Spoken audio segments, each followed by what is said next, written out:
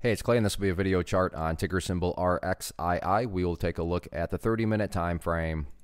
Real quick, what do I mean by 30 minute in case maybe you're new to charts? Instead of each one of these candlesticks here representing one day's worth of price action, which is what you would normally see, each one represents 30 minutes. So while this here may look like several days worth of time, it's actually today's price action broken down into 30 minute time slices.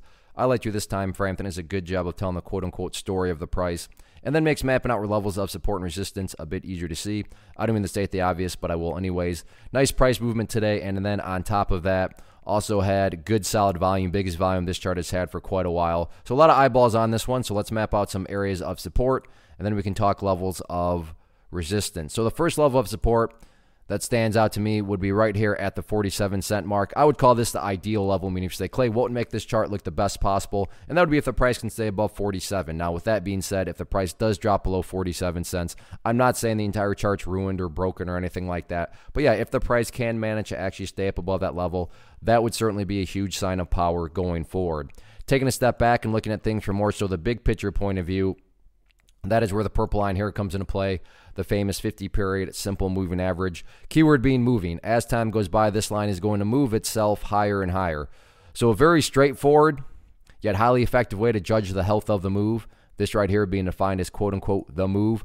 Just watch that purple line. As long as the price stays above that line, as the line itself moves higher and higher, then the bulls are in full health, the bulls are in full control. However, you can best visualize that, that's what's being represented. Again, yeah, staying above 47 cents, that would be great. But from the grand scheme of it all, as long as the price is above that purple line, then the bulls 100% own the chart. What about levels of resistance?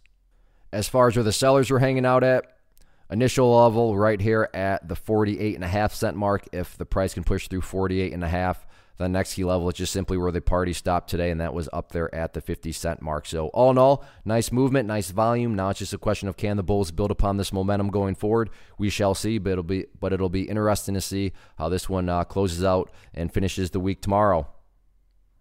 One of the biggest questions I get is, hey Clay, how do you find the stocks that you trade? So what I've done is put together a free resource guide where I talk about the tools that I use to locate stocks that I find interesting and think may have potential. So if that sounds like something that could add value to you as a trader, then click on the image that is up on the screen right now and I will email you the guide. The guide itself is very short and to the point, and best part, it's completely free. Thanks for watching the video. Let me know if you have any questions.